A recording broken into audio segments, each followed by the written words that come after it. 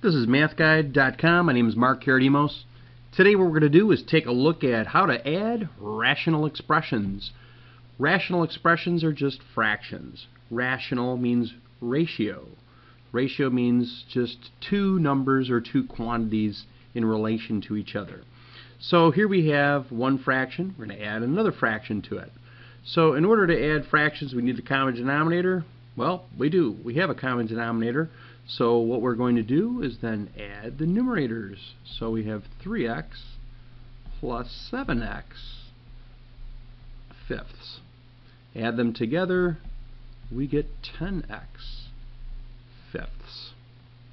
Now it turns out that when you're done adding the two numerators, we then look to see if there's some common factor between the numerator and denominator, and there is in this case, so the common factor is 5. So I divide the top by 5, you get 2x. Divide the bottom by 5, I get 1. So the final answer is 2x. So that is the result of adding these two fractions together. Now of course this was a very, very simple problem. What we want to do is take a look at a problem that's a little bit more complex.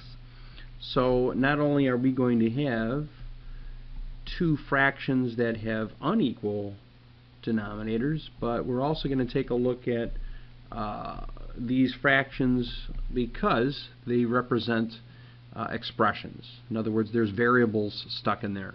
And what we want to do is evaluate these, right? Or, I'm sorry, not evaluate them, or we want to add them. We want to add these two fractions together. All right, so how do we do it?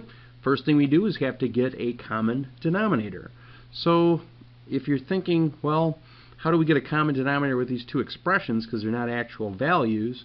What you do is you basically pretend like they're values. And although this is not always the best technique when you're dealing with numbers because it won't always lead to the lowest common denominator, in this case it will, what we're going to do is multiply this denominator uh, by x plus 2 and the numerator by x plus 2. That's for this fraction right here.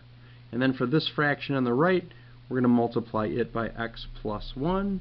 And whatever we multiply the bottom of a fraction by, we multiply the top. Now you're thinking, well, how does this give us a common denominator? Well, our denominator here will be x plus 1, x plus 2. Our denominator here will be x plus 1 times x plus 2 also. Therefore, they'll have the same denominator. Alright, so what does that mean? Well, it means I'm going to multiply these numerators together. So I'm going to multiply them. So 4 times this quantity is going to be 4x plus 8 all over our common denominator, x plus 1 and another x plus 2.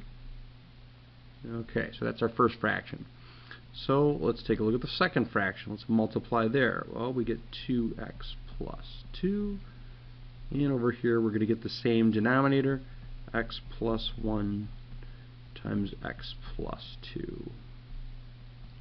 Alright, well, since we have our common denominator, well, we could add the numerators together. So 4x plus 2x is 6x.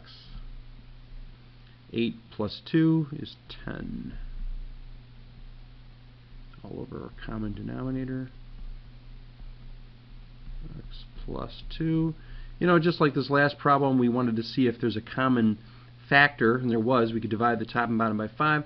To see if there's a common factor, I'm going to actually factor the denominator. In other words, I could see that I could divide both of those numbers by 2, and I'm going to get 3x plus 5. And I still have the same two factors in the denominator. And after doing this, it is definitely clear that there is no other 3x plus 5 in the denominator, there's no other factor of 2 in the denominator, so there's nothing else that I could factor. There's no common factors between the numerator and the denominator. So that's the final answer. So here are our two examples on how to add rational expressions. Make sure you go back to mathguide.com, check out our other videos, our lessons, and interactive quizzes. Take care.